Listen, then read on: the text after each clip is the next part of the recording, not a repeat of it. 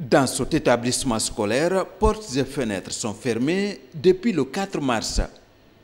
Pourtant, les cours se déroulent selon cet emploi du temps élaboré pour gérer l'urgence sanitaire.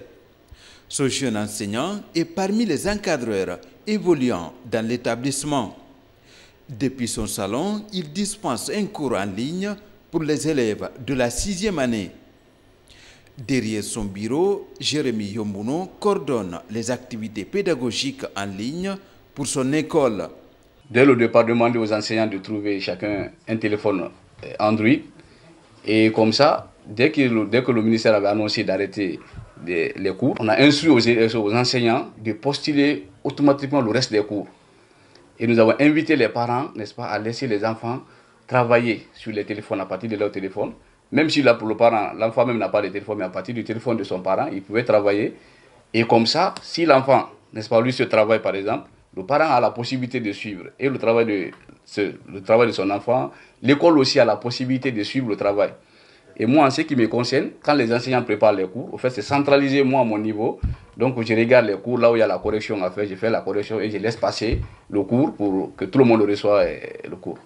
L'apprentissage en ligne, Sarantouré, élève de la sixième année, s'est habitué à l'aide de son téléphone et reçoit les cours mis en ligne par son maître. Il y a collège, il y a collège, il y a primaire, il y a maternelle. J'appuie sur primaire. J'appuie sur ma classe sixième année. Si c'est science que je veux, j'appuie sur ça.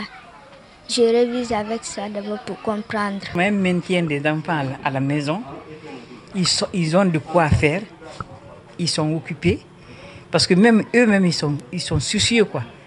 Cette formation à distance se déroule via la plateforme Magoy Éducation, une application didactique mise au point par ces jeunes développeurs. La plateforme a plusieurs niveaux d'administration.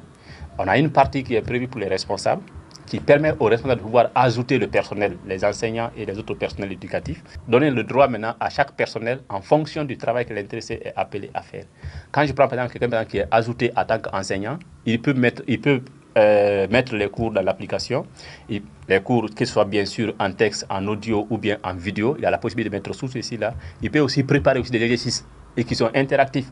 Face à l'arrêt des cours dû à la crise sanitaire, plusieurs établissements scolaires expérimente la formation à distance dans l'espoir d'un retour rapide à la normale.